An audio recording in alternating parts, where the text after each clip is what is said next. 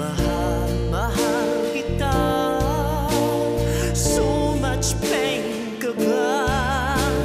Mahal, mahal kita Oh my God, there's too much pain talaga Pag bumubulaklak na ang bulaklak, when flowers bloom, nagigising ang tigre, the tigers awakens.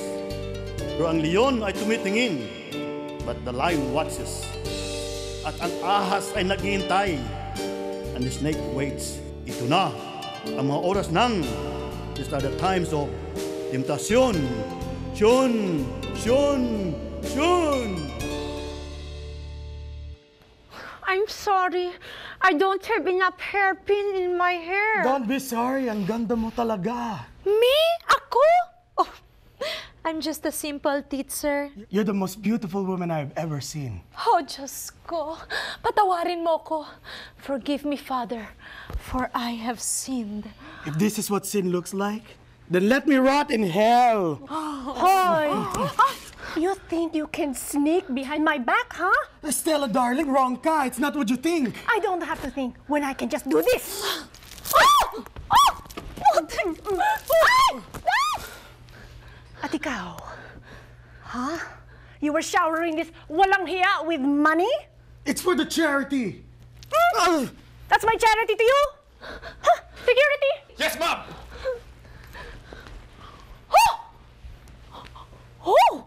Danny, bad boy! Nandito ka pala. I didn't know you were here. Nagtatrabaho na ako rito. I work here now. Ha? Ah, akala ko nasa bilangguan ka. I thought you were in prison, in the orange costumes, dancing. Nilagay ako ng Diyos dito para malaman ko talaga kung gaano ka talaga kasama.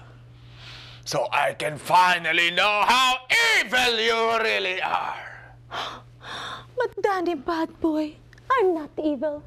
I still love you. Hoy! Tama na yan, drama na yan. I am the star of the show, ha? Danny Bad Boy, escort nga yung ex-girlfriend mo out in handcuffs. in handcuffs.